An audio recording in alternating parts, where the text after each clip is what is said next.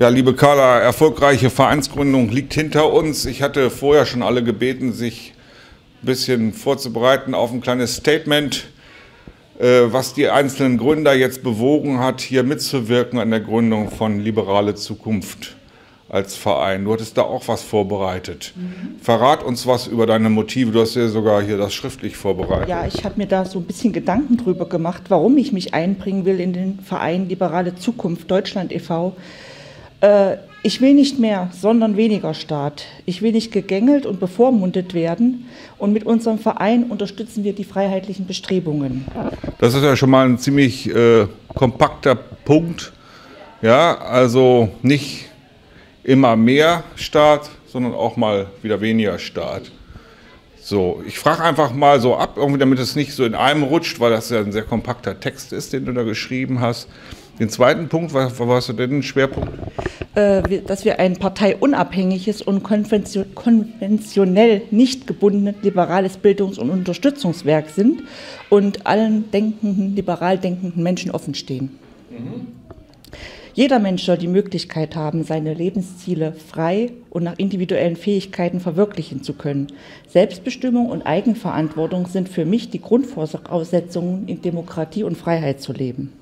Ja. Und mit dem Verein wollen wir die politische Bildung im Sinne freiheitlicher Denkweise für selbstdenkende Menschen und liberale Sozialpolitik unterstützen, ideell und finanziell. Eine lebendige Gesellschaft, in der freiheitliche Bürgerrechte wie das Recht auf Eigentum, der Schutz der eigenen Daten sowie das Bürgerrecht auf freies Unternehmertum nach den Grundsätzen so wenig Staat wie nötig und so viel Freiheit wie möglich Umsetzung findet.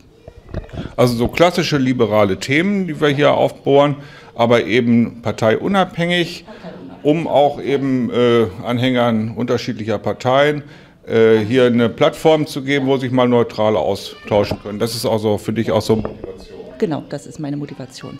Wenn du jetzt wieder zurückfährst nach Weimar, was nimmst du so mit? Irgendwie, was hast du dir vorgenommen für die nächsten Wochen, Monate? Äh, das sind sehr viele Eindrücke und äh, ich muss sagen, ich muss das erstmal für mich selbst verarbeiten, sortieren und äh, dann so meine Richtung finden, wo ich jetzt meinen Punkt finden will im Verein, wo ich mich dann einbringen will, wo ich mich spezialisieren drauf möchte und ähm, werde mich dann dazu äußern.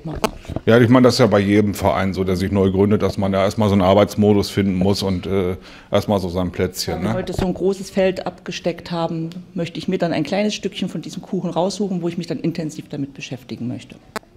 Carla, ich danke dir für dein Statement. Äh, wünsche eine gute Rückfahrt nach Weimar und freue mich auf die kommende Zeit und auf die Zusammenarbeit. Vielen Dank.